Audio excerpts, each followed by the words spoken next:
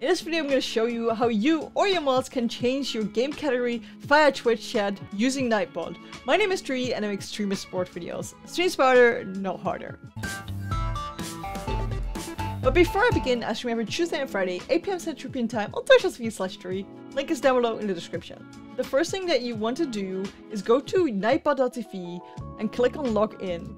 You log in with your Twitch. On the top right here, for me, it says Part Channel, but if you have not done this yet, it says Join Channel. Make sure to click on it if it says Join Channel. If it says Part Channel, don't click on it. Then the second thing you want to do is you want to make sure that Nightbot is a mod in your channel.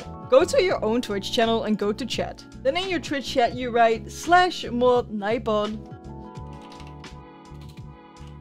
and press enter. Now you make Nightbot a moderator. So what you or your mods need to do to change the game category is type exclamation mark game space the name of the category. So for example, now mine is on Immortal Fenyx Rising, and if we do exclamation mark game space just chatting,